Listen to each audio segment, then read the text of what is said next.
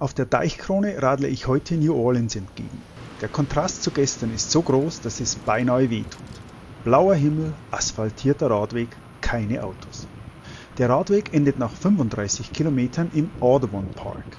Von dort geht es 10 Kilometer durch den berühmten Garden District mitten hinein ins Stadtzentrum.